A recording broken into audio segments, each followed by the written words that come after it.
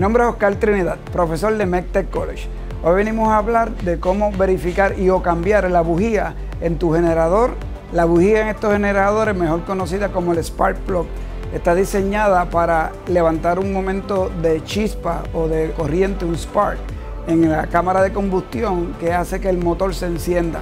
Por ende, esta bujía tiene que estar siempre en muy buen estado o perfectas condiciones para que el generador prenda de la primera instancia. Las bujías en estos tipos de generadores se cambian de acuerdo a las especificaciones del fabricante. En este caso de este generador que tenemos aquí presente, esta bujía se cambia de cada 50 horas. En este generador la bujía se encuentra en la parte posterior. Encontramos donde está el cilindro, va a estar siempre un cable, lo desconectamos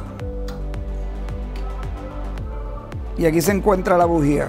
Usando las herramientas correctas, en este caso es una copa de bujía, procedemos a sacar la bujía girando en contra del reloj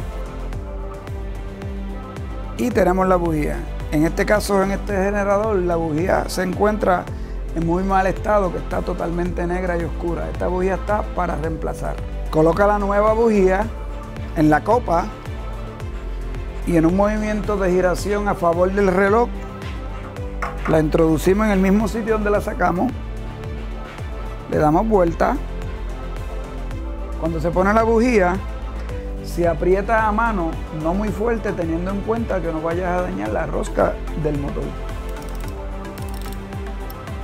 Para finalizar colocas nuevamente el cable de corriente que es el que activa la corriente en la bujía. Lo coloca en el mismo sitio presionando hacia adentro. Y ya estamos ready con una bujía ya cambiada. Recuerde que para prolongar la vida de estos equipos hay que darle el mantenimiento adecuado según el fabricante. Y si quieres aprender más de la reparación y mantenimiento de estos equipos, estudia con nosotros en MECTEC College.